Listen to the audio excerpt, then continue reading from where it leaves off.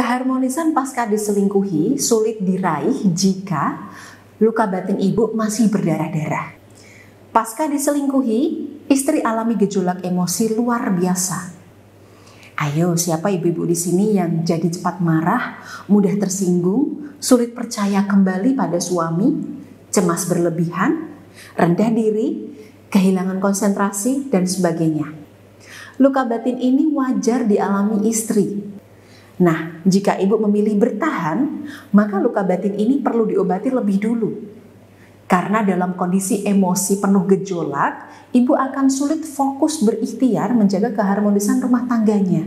Untuk proses penyembuhan luka batin ini, ibu bisa berikhtiar melalui kalung sakinah permata merah.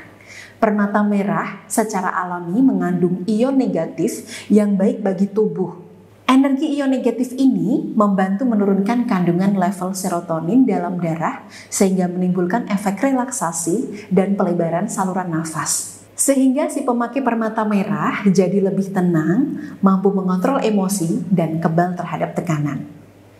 Saya juga melengkapinya dengan energi buka aura daya tarik untuk membantu mengembalikan cinta dan gairah suami sehingga ikhtiar kalung sakinah permata merah lebih lengkap dan optimal.